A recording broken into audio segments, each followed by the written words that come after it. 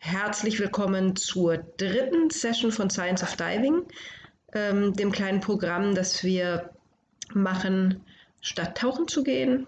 Hilft ja gerade nichts. Ähm, und zwar möchten wir heute uns ein Thema anschauen, das viele Taucher immer wieder beschäftigt und über das man, glaube ich, auch lange, lange intensiv immer wieder diskutieren kann. Wir wollen heute dabei erstmal die Grundlagen gucken, nämlich Dekotheorie die Frage, was passiert eigentlich in unserem Körper und was macht eigentlich der Stickstoff, während wir gemütlich Fische gucken unter Wasser. Das, was wir heute anschauen werden, sind ähm, erstmal die Grundlagen. Welche Modelle gibt es denn, die die Stickstoffaufnahme und die Abgabe beim Tauchen ähm, beschreiben können? Was ist ein M-Wert? Also was begrenzt unsere Tauchgänge, die Zeit unserer Tauchgänge?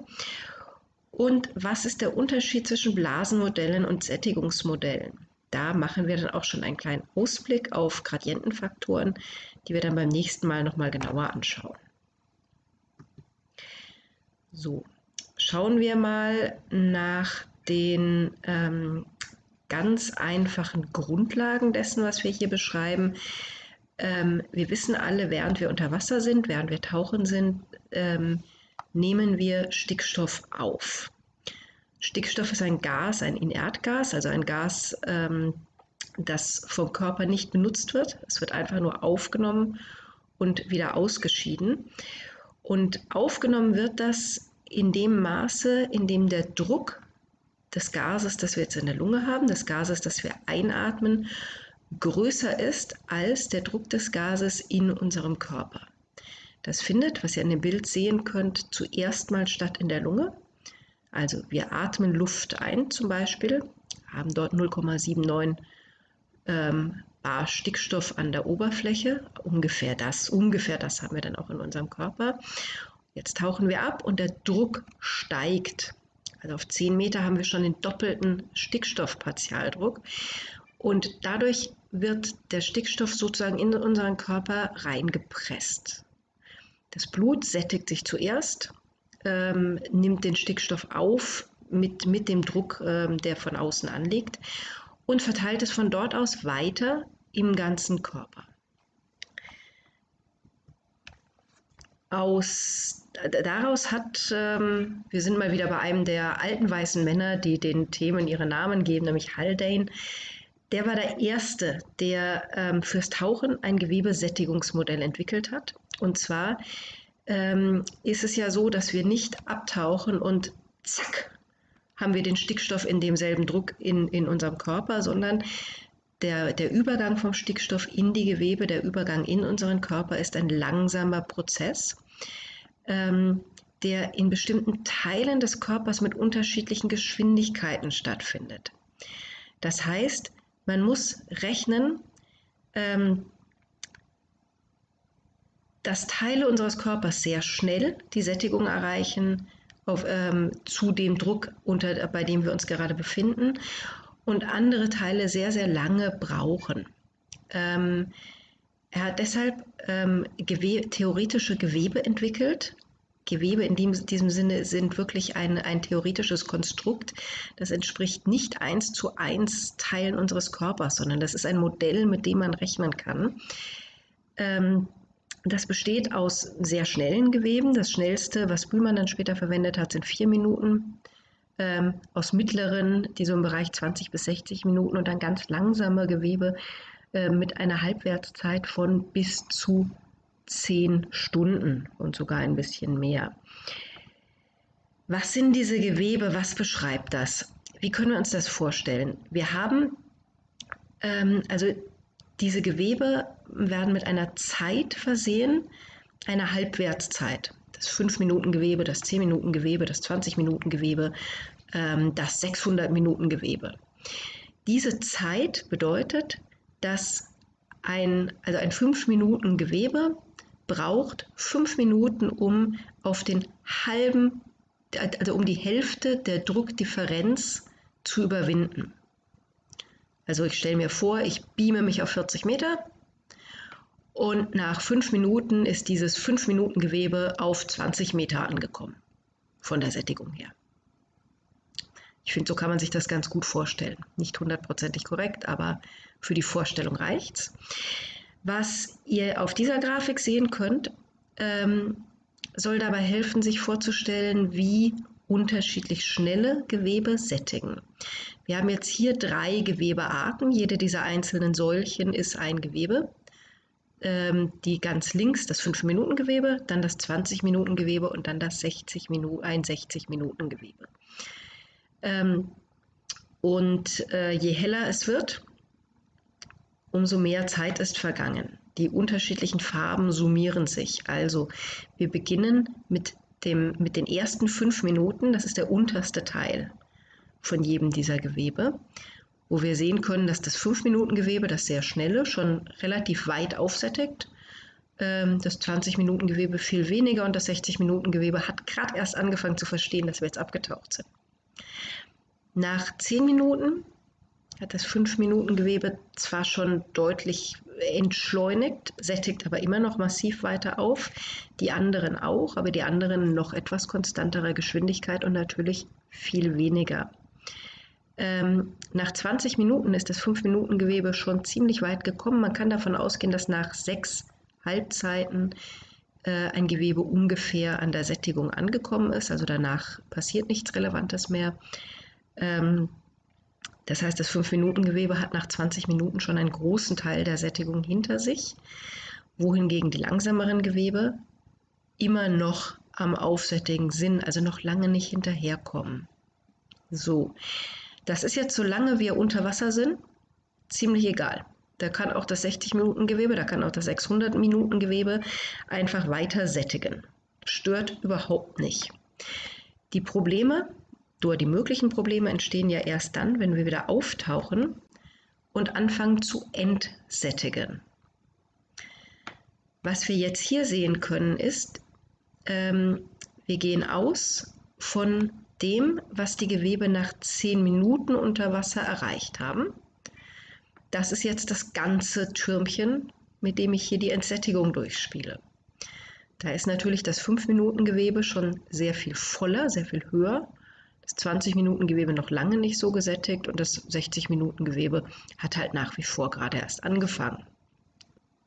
So, der oberste Teil, also ähm, ähm, wir, wir stellen uns jetzt vor, wir sind auf der Sättigung, die wir nach 10 Minuten erreicht haben und zack, wir beamen uns wieder in die Oberfläche. Ähm, einen langsameren Aufstieg, den wir normalerweise machen, müsste man da anders wegrechnen und das wird mir zum Ausrechnen zu kompliziert. Ist auch gar nicht notwendig, um das Prinzip zu verstehen. Ähm, wenn wir fünf Minuten wieder an der Oberfläche sind, fällt das oberste, der, der oberste Teil, das was jetzt fast weiß ist, weg. Das haben wir schon wieder entsättigt. Was wir hier sehen können, ist, dass nur, nach nur fünf Minuten ist das 5-Minuten-Gewebe und das 20-Minuten-Gewebe noch ähnlich gesättigt, obwohl das 5-Minuten-Gewebe ja mit einer sehr viel höheren Übersättigung hochgekommen ist. Nach nochmal 5 Minuten haben wir im 20-Minuten-Gewebe noch mehr Stickstoff als im 5-Minuten-Gewebe. Das bedeutet, das 20-Minuten-Gewebe wird jetzt zum Führungsgewebe. Und unsere weitere Entsättigung und was wir jetzt weiter tun können, das ähm, bestimmt sich an die, an, jetzt an dem 20-Minuten-Gewebe, weil das 5-Minuten-Gewebe schon lange sicher ist. So, jetzt stellt sich natürlich die Frage, was ist denn eine Übersättigung, die man so aushalten kann? Und hier kommen wir ans Thema der M-Werte.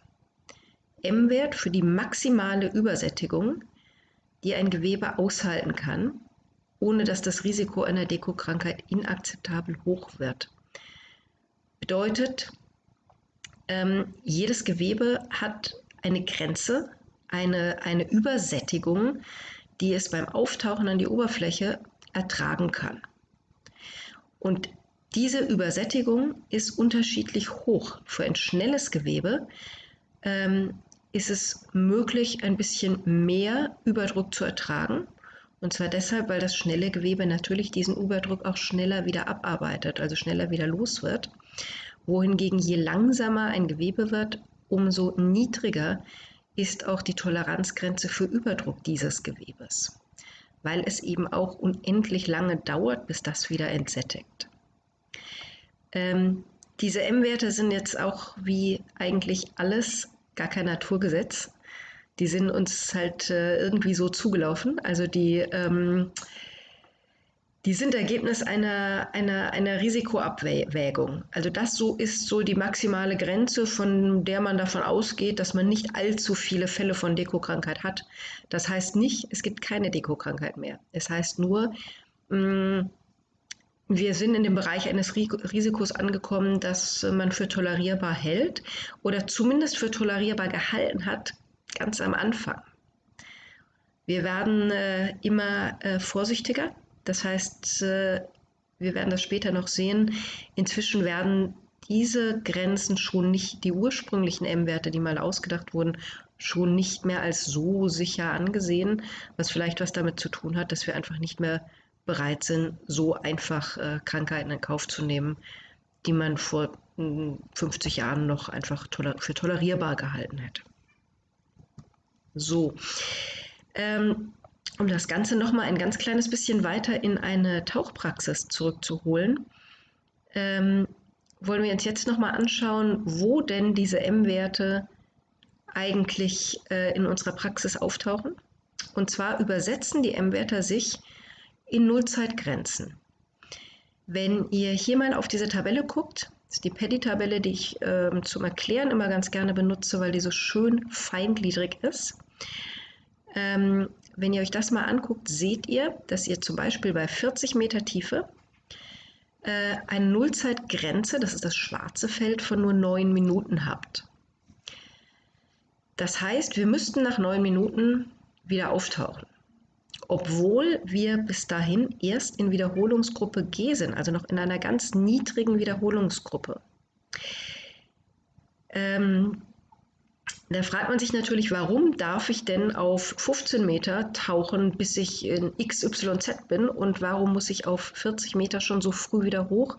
Ich bin doch noch gar nicht gesättigt. So ist man wirklich nicht, sondern das schnellste Gewebe hat hier ist so weit gesättigt, dass sein M-Wert erreicht ist. Das schnellste Gewebe ist an dem Punkt einer kritischen Übersättigung angekommen. Das heißt, wenn wir jetzt direkt aufsteigen, langsam aber sicher ist noch alles gut.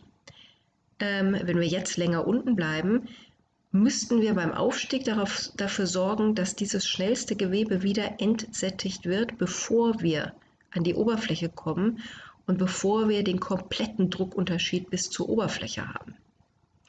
Was aber auch bedeutet, dass wenn wir nach neun Minuten von 40 Metern ein bisschen auftauchen und nicht bis an die Oberfläche, sondern dann auf 15, 20 Meter noch ein bisschen weiter tauchen, dass das völlig in Ordnung ist.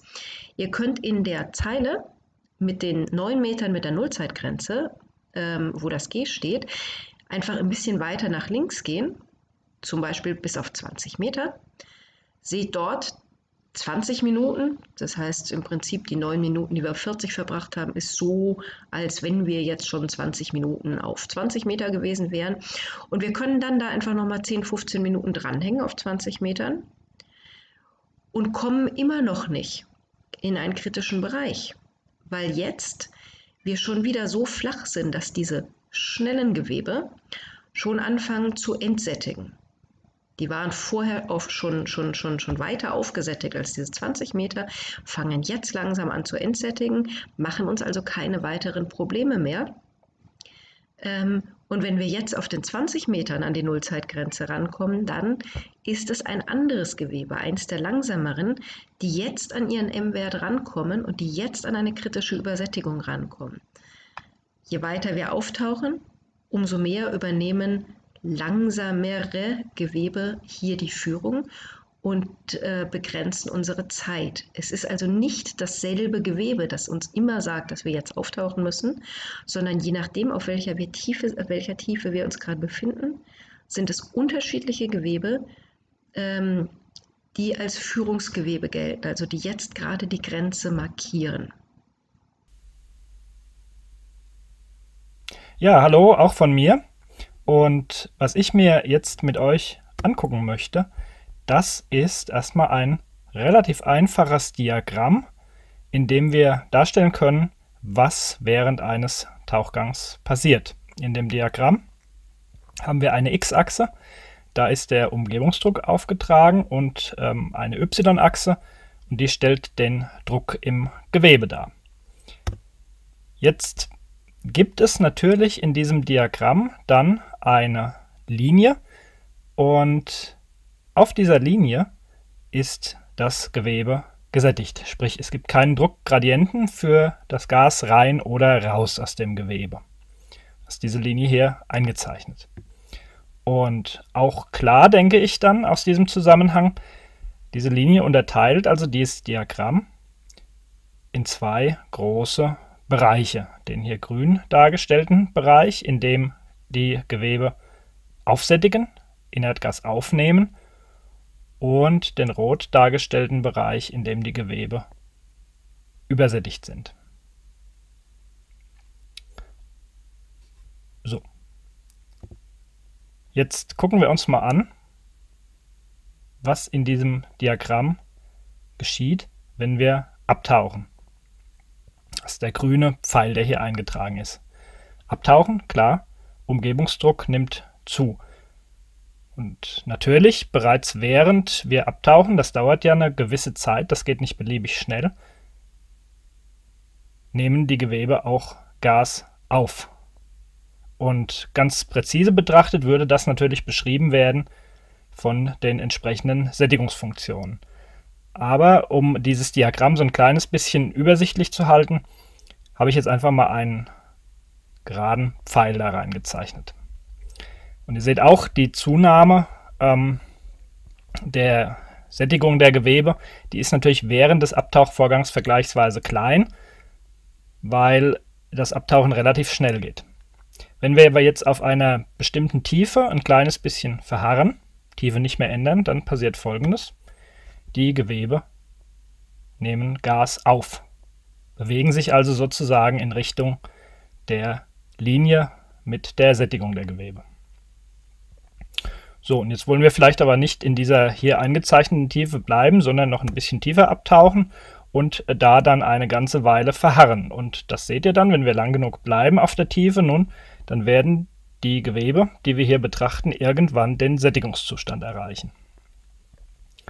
Ganz genau betrachtet ist das jetzt sozusagen ein Gewebe, das hier vollständig gesättigt ist. Ihr erinnert aus dem ersten Teil des Vortrages, da gibt es natürlich verschiedene schnelle Gewebe. Und während vielleicht ein schnelles Gewebe schon gesättigt ist, befinden sich mittlere und langsamere Gewebe noch auf dem Weg zur Sättigung hin. Aber der Einfachheit halber bleiben wir jetzt mal bei dem Gewebe, das hier an dieser Stelle gesättigt wäre. So, jetzt kann natürlich unser Tauchgang nicht beliebig lange dauern. Irgendwann müssen wir ans Auftauchen gehen. Und was passiert, wenn wir auftauchen? Nun, klar, der Umgebungsdruck nimmt ab. Und dementsprechend, seht ihr jetzt anhand dieses roten Pfeils, den ich eingetragen habe, bewegen wir uns dann also in den Bereich des Diagramms, in dem eine Übersättigung vorhanden ist. Wie weit wir in diesen Bereich hineingehen, das hängt natürlich erstmal davon ab, wie schnell und wie weit wir auftauchen. Kann also ein bisschen weiter sein. Das kann im Ernstfall sogar, zum Beispiel bei einem Panikaufstieg, bis an die Oberfläche führen. Und ihr seht schon, in diesem Fall würden wir die Oberfläche mit einer enormen Übersättigung erreichen. Und das wäre ganz sicher problematisch. Jetzt ist natürlich die Frage, wie weit wollen wir uns in diesen Bereich vorwagen der Übersättigung? Sicher nicht so ohne weiteres bis zur Oberfläche. Und wir haben ja Optionen, das auch zu vermeiden. Wir können jederzeit während des Auftauchvorgangs Stops einlegen. Und ihr seht, was dann passiert. Während des Stops entsättigen die Gewebe, bewegen sich also in Richtung der Linie zurück und die Übersättigung sinkt. So sehe also ein Stopp während des Auftauchens aus. Beispielsweise ein Dekostop. Ja, und die Frage, die ich gerade schon aufgeworfen hatte, wie weit wollen wir uns also in diesen Übersättigungsbereich hineingehen, Nun, das ist letzten Endes eine Frage, die beantworten uns die jeweiligen Modelle. Wenn wir also die M-Linie in dieses Diagramm einzeichnen wollten, dann könnte die zum Beispiel so aussehen wie diese gepunktete Linie hier. Und wenn beispielsweise mal jetzt sich vorstellen würde, das wäre also die M-Linie aus einem Bühlmann-Modell.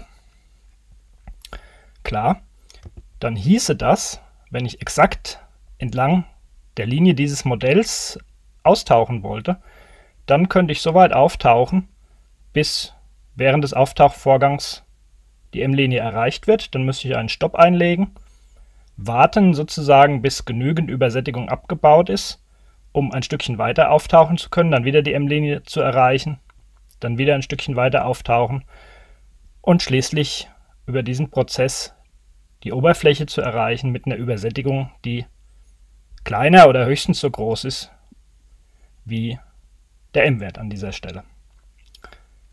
Sprich, Deco-Stops, der erste Deco-Stop müsste eingelegt werden, wenn man exakt bis zur M-Linie tauchen wollte, an der Stelle, an der man beim Auftauchvorgang das erste Mal die M-Linie erreicht.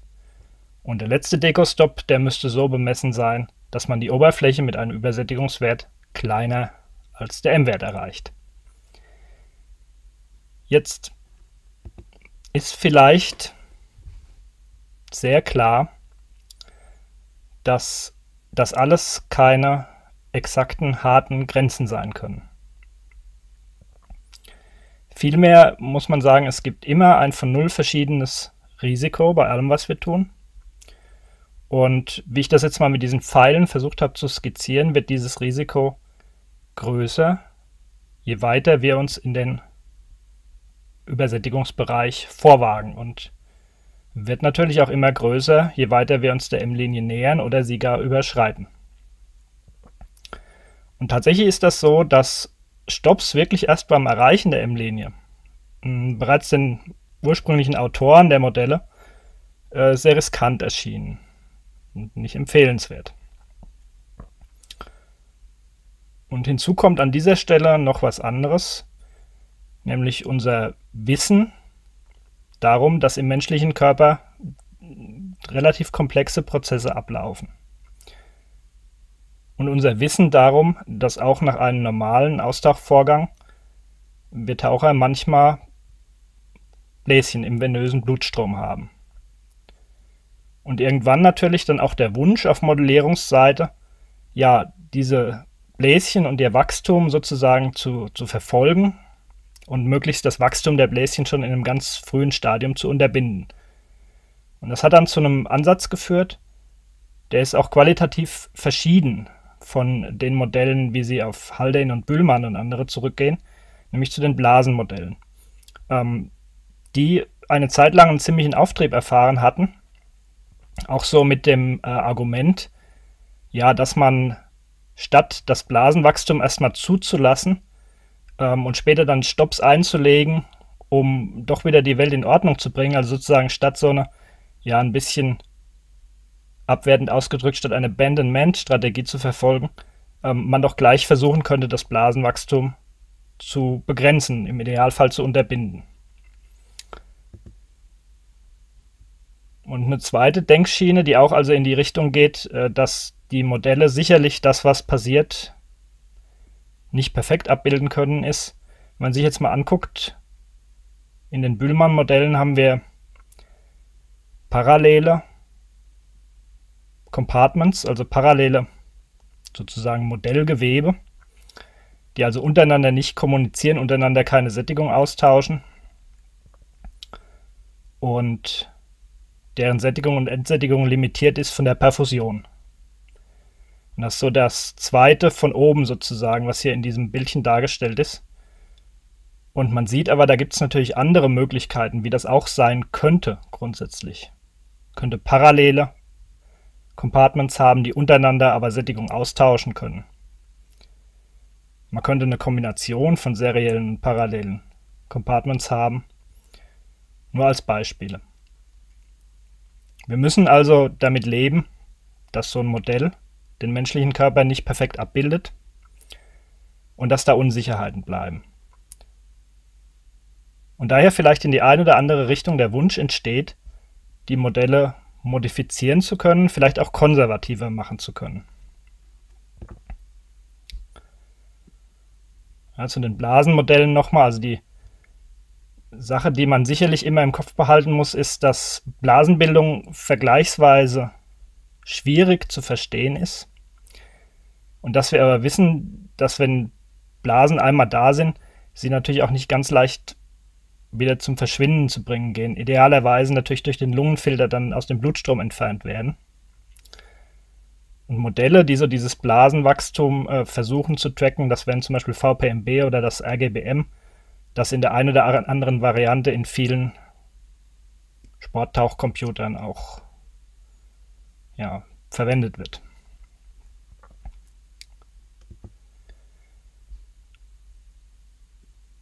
So eine Eigenschaft dieser Blasenmodelle war tatsächlich, dass sie im Vergleich zu den unmodifizierten Bühlmann-Modellen relativ tiefe erste Dekostops berechnet haben.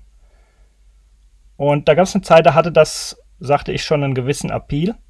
Und dann hat man sich überlegt, könnte man nicht die Bühlmann-Modelle vielleicht so modifizieren, dass man da eben auch tiefere erste Dekostops erreicht. So dieses Verhalten der Blasenmodelle ein bisschen zu emulieren. Und das kann man tatsächlich, das und noch einiges andere, indem man sogenannte Gradientenfaktoren einführt. Zwei Stück, einen GF Low und einen GF High. Und damit ist tatsächlich möglich, das Verhalten der Modelle deutlich und äh, teils auch qualitativ zu modifizieren. Das geht folgendermaßen. Hier am Beispiel mal von einem GF Low von 40 und einem GF High von 80 gezeigt. GF Low 40 heißt, der erste Dekostopp wird schon zu, durchgeführt äh, bei Erreichen von 40% des M-Wertes beim Auftauchen. Und GFH von 80 heißt, bei Erreichen der Oberfläche wollen wir nur 80% des M-Wertes haben. Und nun ist klar, diese beiden Punkte, linear, legen eine Gerade fest. Wir können also eine neue Linie in dieses Diagramm jetzt einzeichnen, die 40-80-Linie in dem Fall. Und jetzt können wir entlang dieser Linie austauchen. Das sähe dann also folgendermaßen aus. Und man sieht, denke ich, sehr schön, dass das in dem Fall tatsächlich dazu führt, dass der erste Stopp tiefer liegt, als wenn wir bis zur M-Linie austauchen würden. Und dass insgesamt natürlich auch in dem Fall jetzt konservativer getaucht wird, mehr Dekozeit verwendet wird. Die Frage, die sich damit aber natürlich verbindet, ist, ist das in jedem Fall konservativer? Intuitiv würde man vielleicht erstmal dazu neigen zu sagen, naja, klar, wenn ich weiter von der M-Linie wegbleibe, wird der Tauchgang vermutlich konservativer. Da muss man aber tatsächlich dazu sagen, das kann ein Trugschluss sein. Und zwar deshalb, weil tiefe Dekostops eventuell dazu führen können, das mittelschnelle Gewebe weiter aufsättigen. Und das ist eine Frage, die müssen wir sicherlich im Hinterkopf behalten und uns da bewusst sein, dass es da keine ganz einfache Antwort darauf gibt.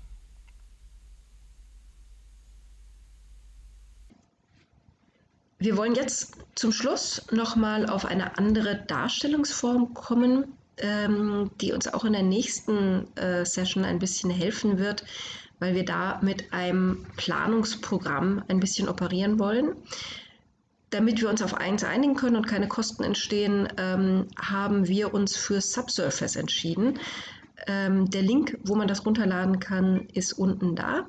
Subsurface ist ein sehr gutes ähm, Planungs- und Logbuchprogramm, das ähm, eine sehr schöne Grafik hat, also sehr anschaulich macht, was unter Wasser eigentlich passiert und äh, außerdem den immensen Vorteil hat, dass es einfach kostenlos ist. Also es ist eine Open Source Software und ja, jeder kann sie sich einfach runterladen, benutzen.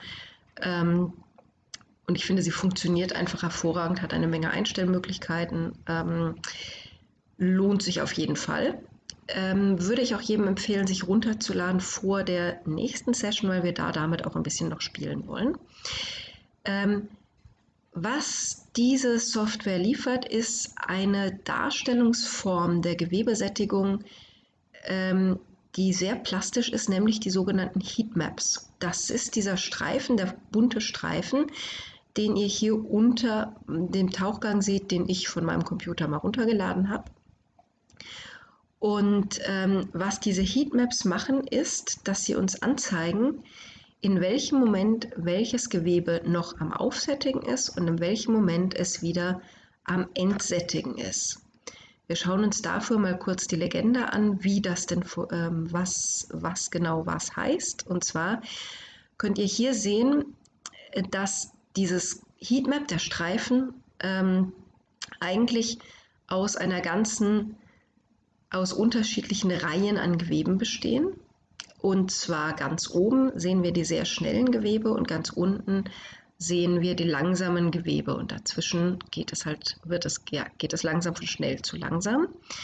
Ähm, und für jedes einzelne dieser Gewebe äh, wird jetzt angezeigt, ob dieses Gewebe gerade aufsättigt oder entsättigt. Das Aufsättigen zeigt sich in den blauen bis hin zu, also von hellblau bis lila und dann schwarzen Farben. Schwarz bedeutet, jetzt ist dieses Gewebe komplett auf dieser Tiefe aufgesättigt. Ähm, hellblau heißt, das ist gerade erst am Anfang, noch nicht viel passiert.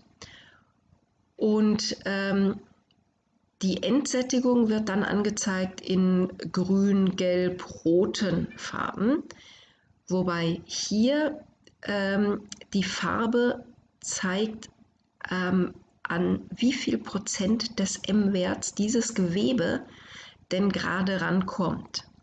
Bedeutet, grün heißt ja, entsättigt gerade, aber mit in, bei, zu einem sehr niedrigen Prozentsatz noch, also bei 20 bis 40 Prozent, dann geht es in Gelb über, geht in Orange über und ist schluss, schlussendlich bei Rot. Rot bedeutet, ähm, man hat jetzt tatsächlich die 100 Prozent des M-Werts gerade erreicht. Wenn es dann von Rot sogar in Weiß übergeht, wird, ist der M-Wert überschritten und man hat eventuell tatsächlich ein Risiko, jetzt, dass sich jetzt gerade Blasen entwickeln, dass jetzt gerade eine Dekokrankheit entsteht. Wir schauen uns das nochmal an. Was man bei diesem Tauchgang jetzt sehen kann, ist, dass die ganze Zeit, während wir unten sind, ähm, sättigt, sättigen unsere Gewebe auf. Alle. Die langsameren Gewebe, also die, die unten in dem Heatmap sind, bleiben in einem helleren Blauton.